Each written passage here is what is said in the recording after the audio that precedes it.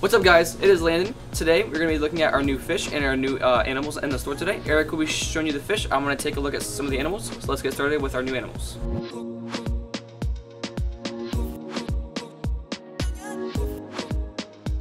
So this is a baby leucistic ball python. She is very gorgeous. She has those nice baby blue eyes, the leucistic skin, very docile.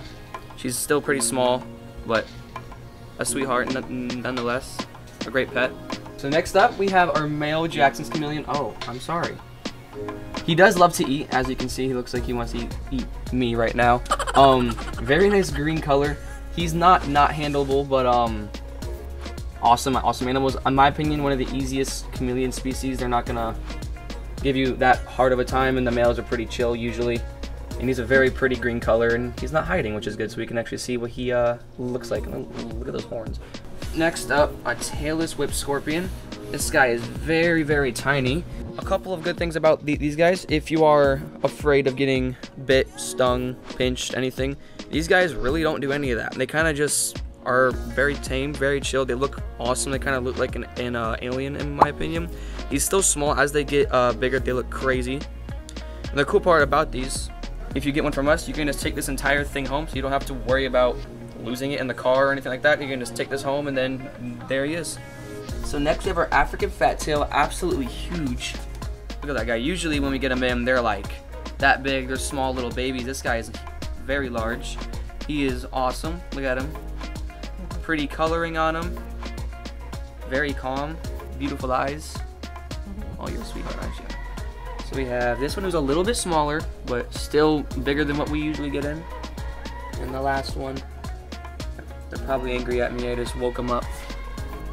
These two are a bit smaller. Look at that really cool stripe down their back. Really gorgeous. So this is our red-eyed leucistic rat snake. Usually we do not get the red-eyed ones in. Texas rat yeah. snake, yes. Red-eyed leucistic Texas uh, rat snake. Usually tame, just very squirmy, wiggly, kind of like a corn snake if you have one. Um, but look at those red eyes. Let's see if we can get him to cooperate with us for a second. Oh, look at that. He's gonna look right at, at the camera for you. There we go. Those are awesome red eyes. This is our African house snake. He is kind of squirmy, not terrible. He's pretty strong, actually. I can feel him wrapping around my hands. He's a good weight, good size. Let's see if I can get him to look at the camera. There, there he goes. Look at that. Perfect shot. This is our Indian ornamental. They blend in pretty well. You can see him right there on the back. Same thing with our tailless whip sc uh, scorpion. If you're worried about him escaping or anything like that, you can always just uh, come get him along with the entire tank, and um, it'll make your life easier. You don't have to worry about setting anything up, but Indian ornamental, they blend in really well, but he's honestly awesome looking. Look at those hairs, really good hairs on him. There we go.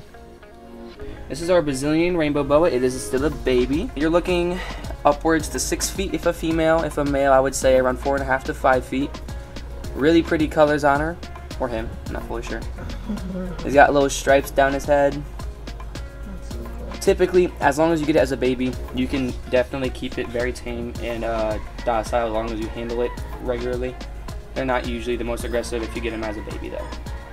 That was that's it for uh, this, this week on our animals. We're gonna pass it to the big hairy guy, Eric, for our fish. So guys, we're now gonna go over the fish. This week we ended up getting some more um, dwarf orange Mexican crayfish. However you want to put those words together, they're all the same thing. But we got those in.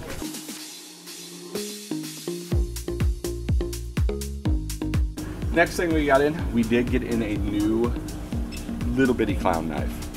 And he's a little bitty, you see him? Yep, so he's hanging out up here right now. He's still freaking out. Oh, I don't have a rag to wipe that off, but I got it. Striping on this. Yeah, that's because he's still a little bitty. Yeah. So, I did get in a bunch more bumblebee catfish. Couldn't think of what they're called there for a minute. Um, they've been moving pretty good. Um, they they hide. They do hide all the time. Let's see if we can get them out though. Yeah. So they always look really good, except they like to hide a lot, but they're awesome fish for sure. Um, help do some cleaning up on the bottom. Stay pretty small. Unlike, you know, it's not a red tail. It's not like going to be like eight foot. sorry, not eight foot, but you know what I mean. I exaggerate a lot. Hey, We got in in a round-tail koi galaxy. He's coming to say what's up. All right, guys, we just got in some uh, pygmy cories, which we haven't been able to get for a little while. Pygmy cories tend to be Oh. a little bit more free swimming. They're not going to be hanging out down in the rock as much. They do go down there and do some bottom cleaning, um, but you'll actually see them up and moving a little bit more than uh, most of your other cories. And we got in the Hellboy today, which he looks really cool.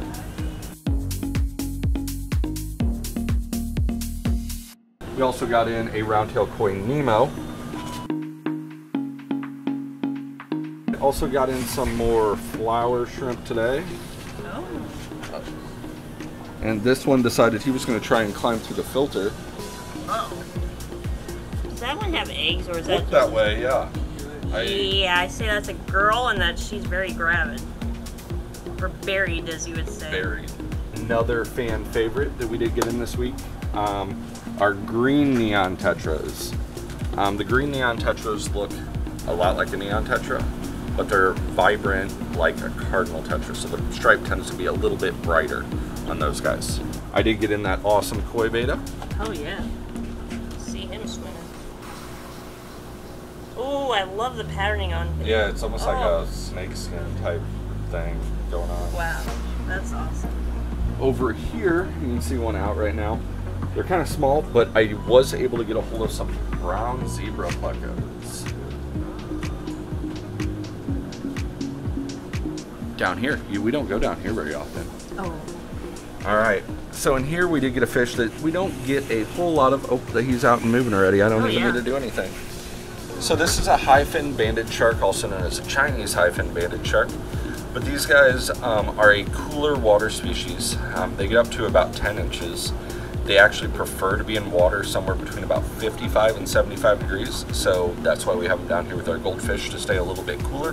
They do get a little large, up to about 10 inches, and there are a lot of people who keep them outdoors in their koi pond um, because of those cold temps.